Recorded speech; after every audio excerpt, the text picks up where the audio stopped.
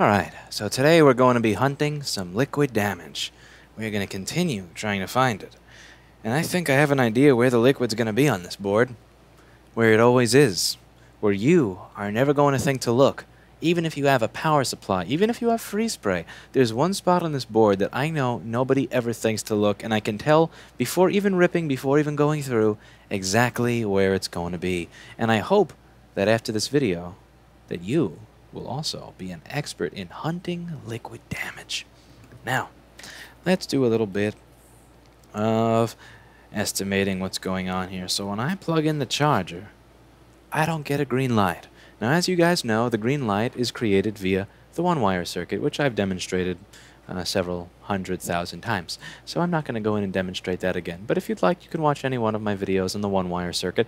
I'll try to remember to put one here in the cards, which I'll probably forget to put it there in the cards, uh, but I'll try to put one here in the cards where I explain it. But in order for the one-wire circuit to work, which is the circuit that allows the SMC to communicate with the charger, so a green light will come on, PP3V42, meaning the 3.42 volt power rail on the board, has to show up. And if we were to measure that rail, if we were to measure it, meaning putting the multimeter where the camera actually sees it, and having it not fall off the desk, go into voltage mode, Black probe is going to go on ground. Red probe, where we expect PP3V42, we get 0 volts. Now, I have 0 volts on that power rail. So the next thing I want to do is I want to see if there's a short to ground. So I'm going to go over to ohms. I'm going to go over to diode mode because it gets me a nice fast measurement. I'm going to take the red probe and I'm going to place it on ground. And now I'm going to take the black probe and I'm going to place that where PP3V42 should be. And as you can see, we have a zero voltage drop between our power line and ground. So PP3V42 is directly shorted to ground. Now, one of the ways that we can try and figure out where we should look before we even get into this stuff of injecting voltage into the board or anything crazy like that is we can just look at the uh, at the board view and we can try to find everywhere that PP3V42 shows up on this model motherboard. So let's see if I can find where I put the schematic for this model motherboard.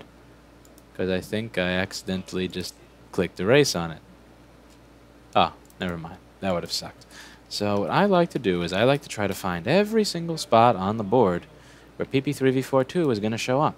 So I'm just going to show you that right now. Hopefully you can see what I see. I used to use the second monitor, but for some reason my second monitor died. So now I just have to kind of guess as to what you see. So this is everywhere in the board. So what I do is I hit N and then I can type in PP3V42 and it's going to show me where PP3V42 shows up. Everywhere in the board. So anything that has a path to ground can be a part. So we're going to go over this board and where PP3V42 shows up. I'm going to have this in the corner and I'm also going to have the microscope in the corner, which is going to mean this one. And hopefully the microscope camera will not freeze because the microscope camera likes to freeze all the time. That's, that's what it does. So I reinstalled the driver to it. I'm going to see if that fixes the problem. I was this close to buying an Osprey because it's like a eight, nine hundred. I think it was like eight or nine hundred dollar card with dual HDMI input. I was pretty close to buying an Osprey, and what happened is, I was about to hit add to cart. I hit add to cart. I was about to hit buy. I, hit, I was about to hit buy. Just close to hitting buy, and then I saw that it was like eight hundred bucks, and it's like, you know what? maybe I'll try reinstalling that driver first. And I decided to try reinstalling the driver because I don't want to spend 800 bucks. I, mean, I don't know what it is. It's just like, ah, oh man, you just get to a point where you're just done spending money. And I passed that point long ago. Anyway, so we're just going to go through the board and ah, I want you to be able to see. Hello. Here we go. So I want you to see the board view and this, and hopefully it's not blocking out too much of the screen. So we're going to look by the SMC, since that's where PP3V42 shows up, and I don't see any signs of liquid damage. I don't see any liquid damage to be hunted here. We're going to look over here, since this is another point that it shows up, and I don't see any liquid damage to be hunted there. We look on the keyboard connector, and yeah, I just don't see any liquid to get hunted there. I don't see any. So we continue onwards and onwards and we look where the actual coil for PP3V42 is. No liquid there. We look in the ISL 6259 area where nothing there. We look over here and oh, oh, what's this? I think I found. Eh. If that's, I don't know if that's liquid, but if it is, that's kind of weak. And I don't even think that thing has PP3V42. Now we look in the corner. Alright, so here's the thing. This is what gets people. You could see some corrosion over here, right? This corrosion, this stuff, is is sometimes not there. What gets people is this. You see this? You see this? This, this foam? The liquid hides under the foam. So even if you spray the freeze spray, the freeze spray doesn't get under the foam. And if you don't take off the foam, you'll never see that little shitty cap for the audio circuit. Whoop! See? Came right off. So I'm going to use Jessa Jones's patented method of professional repair. Jessa Jones's patented method of professional repair, which is not to not to use the hot air station or the soldering tweezers, but to just go boop and just knock the capacitor right off the fucking board, uh, with no regard to the pads and no regard to the board. And yeah, I do the same thing. Yeah, shoot me. What do you want from me? So we're gonna plug it in and see if it turns on. So we knocked off that capacitor. And it looks like we have a well we we have a light in the charger that you literally can't see because of the there we go. The camera light was very strong and that the exposure had to adjust. We got the light and then we have a fan spin. Hey, sometimes they're easy, sometimes they're hard. Don't don't no stop Stop looking at me like that, man. Don't make me feel guilty. You have any idea how many times I sit here and I spend six hours and I don't get anything done? Don't look at me like that. Don't look at me like that. Don't look at me like that. No, no, no, no, no. I'm not listening to that with a no fix, no fee model. You're not guilting me. You're not guilting me. Cut it. Stop. Stop it. Stop it. Stop it. Cut it out. I'm even going to put the capacitor back. How about that? I'm even going to put the capacitor back on. You really think I wasn't going to put the capacitor back on? Is that what you think of me? This is data. I totally wouldn't put the capacitor back on. Is it just me or does that microscope look better since I reinstalled the driver?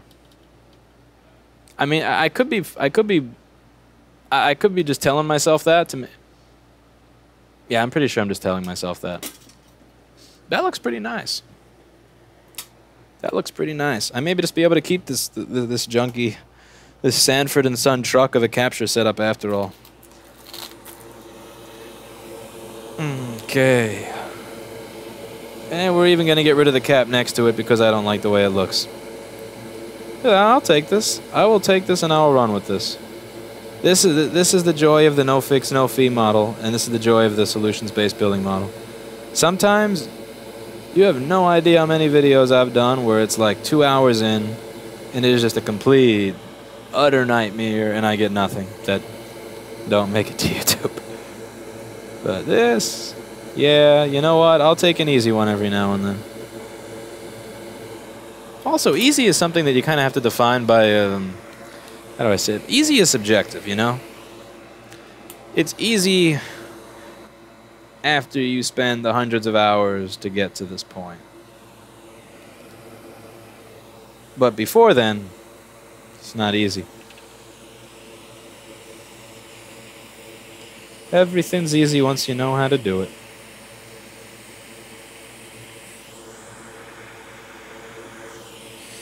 Alright. So now we're going to put those capacitors there. We'll scan for any other kind of nastiness.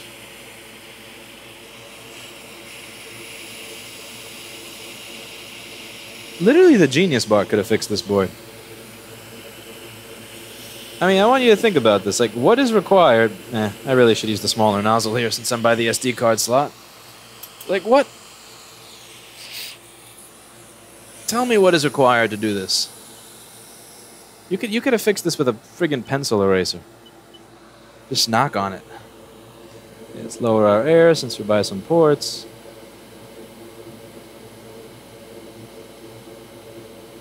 Oh joy, the smell of that foam burning is so beautiful.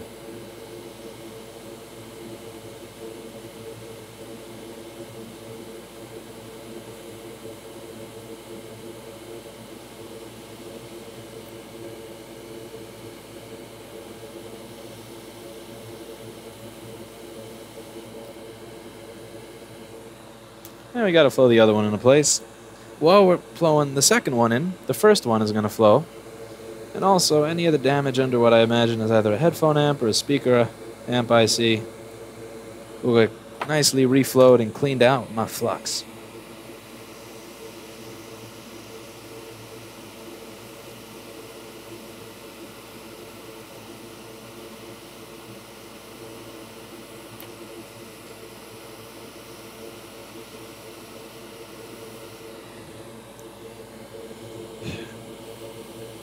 Ugh, foam.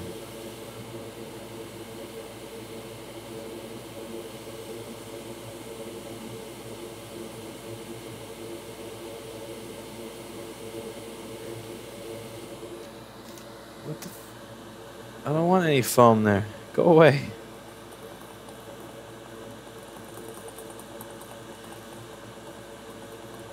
These alcohol dispensers are cancer. See this little desk alcohol dispenser? Look at this. It's probably going to work now that I have it on camera. How many times do I have to hit it before? There we go. And all the hits I did before, before some alcohol comes out of it.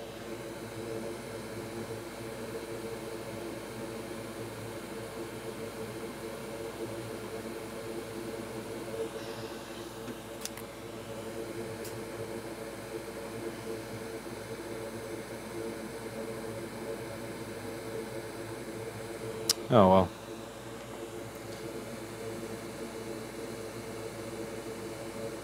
That's